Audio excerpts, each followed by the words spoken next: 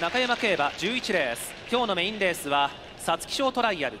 第73回フジテレビ賞スプリングステークス。G2 芝内回り 1800m 今年は10頭立てです。このレースの1着馬2着馬3着馬は4月14日に行われます。G1 皐月賞に優先出走することができます。出走メンバー10頭。習得賞金1200万のウォーターリヒトでも現在のところ皐月賞の出走はおぼつかない状況。それ以外の各馬はここでしっかり権利を取らないと皐月賞の出走は見えてきません。切符3枚をかけた10頭の戦いです。芝コースコンディション良依然として強い風が吹いている中山競馬場ホームストレッチは追い風。後ろから風を受けて各馬の枠入りです。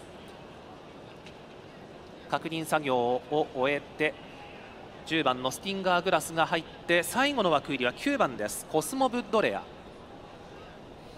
足毛の馬体を9番ゲートに収めて10頭体勢が整います。スタートしました。ポンと出た9番のコスモブッドレア。まず先行争いは7番アレグロブリランテが押しています。内は4番シックスペンス2頭並んで9番コスモブッドレアと3頭。インの4番手が2番ルカランフィースト5番手に5番チャンネルトンネルが続いてその後ペッレグリーニログラールといって10頭が1コーナーをカーブしました。主導権は7番アレグロブリランテが取りました。リード1馬身で12コーナー中間。9番コスモブッドレアが追って2番手。やや差を詰めていって2コーナーです。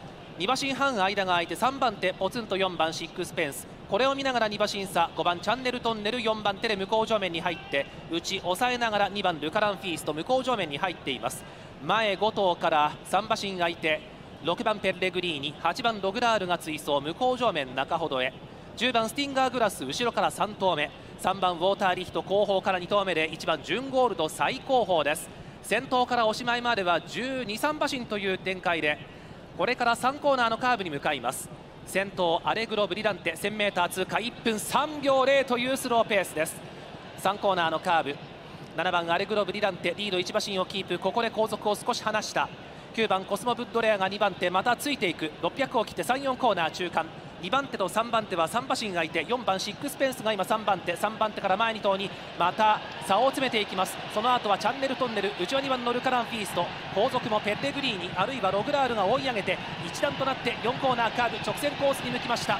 内から3投目今度はシックスペンス先頭か並んでコスモブッドレア。シックスペンスがここで抜けてくる。200を切った盛り返してくる。アレグロブリランテ。あとは追い込んでくるルカランフィーストチャンネルトンネル。内は10番スティンガーグラス。抜けた抜けた4番シックスペンス先頭。2番手はアレグロブリランテ3番手接戦。シックスペンスゴール2着は7番アレグロブリランテ。3着争い接戦。